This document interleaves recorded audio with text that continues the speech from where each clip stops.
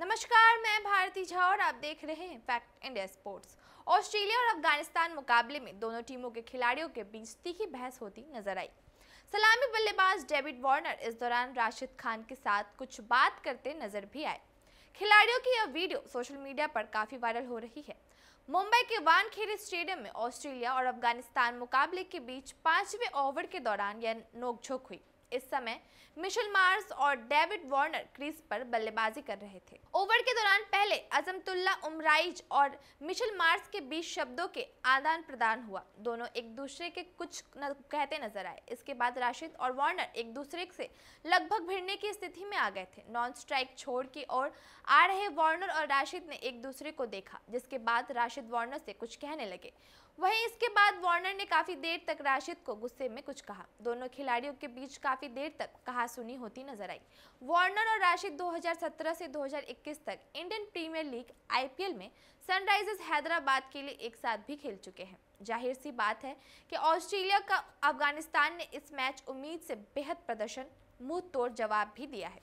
राशिद खान ने इस मुकाबले में अपने सात ओवरों के स्पेल में तीस रन देकर दो विकेट चटका लिए थे।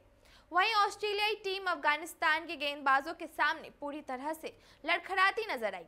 अफ़गानिस्तान के 292 रनों के लक्ष्य का पीछा करने उतरी ऑस्ट्रेलियाई विकेट पतन के रोकने में असफल रही। इस बीच अफगानी गेंदबाज ने डेविड वार्नर को मात्र 18 रनों पर ही कमाल का बोल्ट कर पवेलियन भेजा। साथ ही उन्होंने अपनी अगली ही गेंद पर जॉर्ज इंग्लिश को शून्य पर आउट कर दिया।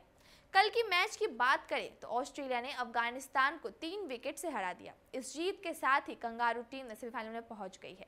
ऑस्ट्रेलिया सेमीफाइनल में पहुँच वाली तीसरी टीम बन चुकी है। अब चौथे स्थान के लिए न्यूजीलैंड और पाकिस्तान और अफ़गानिस्तान के बीच मुकाबला होगा इस मैच में अफ़गानिस्तान ने पहले बल्लेबाजी करते हुए 291 रन बनाए। इसके जवाब में ऑस्ट्रेलिया ने सात विकेट पर 293 रन बना लिए और मैच जीत लिया। अफ़गानिस्तान के लिए सबसे ज़्यादा नाबाद 129 रन इब्राहिम जादरन ने बनाए। राशिद खान ने 35 रन की नाबाद पारी खेली। ऑस्ट्रेलिया के जोस हैजलवुड ने दो विकेट लिए।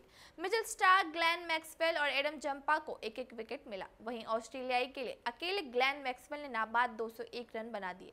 मिजल मार्स ने 24 रन की पारी खेली। अफ़गानिस्तान के लिए नवीन उल हक अजमतुल्ला उमजाई और राशिद खान ने दो दो विकेट लिए। ऑस्ट्रेलिया ने 91 रन पर अपने सात विकेट गवा दिए थे। इसके बाद मैक्सवेल ने पैट कमिंस के साथ 202 रनों की नाबाद साझेदारी कर अपनी टीम को जीत दिला दी।